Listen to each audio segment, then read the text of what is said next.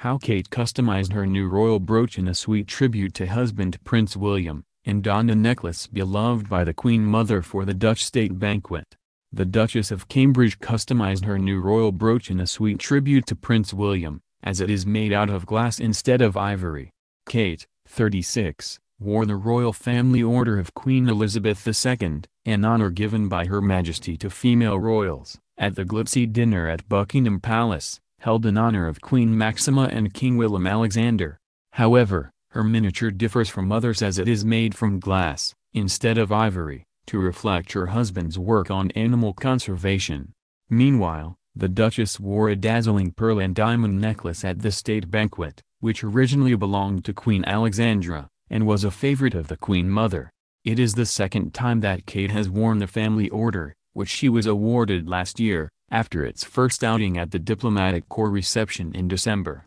The order, which is also worn by the Duchess of Cornwall, Princess Anne and the Countess of Wessex, features a jewel-encased image of the Queen pinned on a chartreuse yellow ribbon and worn on the left shoulder. The miniature portrait, painted on glass, depicts the Queen as a young woman in evening dress wearing the ribbon and star of the Order of the Garter. According to Majesty magazine, Kate's family order is different to previous examples, because it is not made of ivory. Her decision to have a glass miniature is likely to be a reflection of William's passion for conservation work, which includes campaigning to end the ivory trade.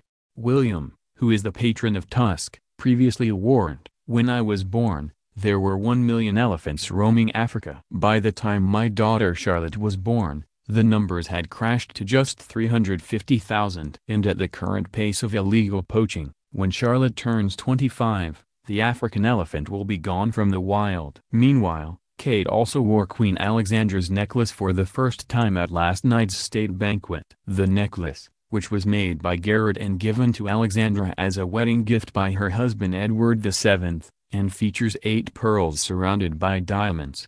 It was one of the Queen Mother's favorite pieces, with the royal photographed wearing it on numerous occasions. The Queen inherited the necklace following her mother's death in 2002, but has not been photographed wearing it.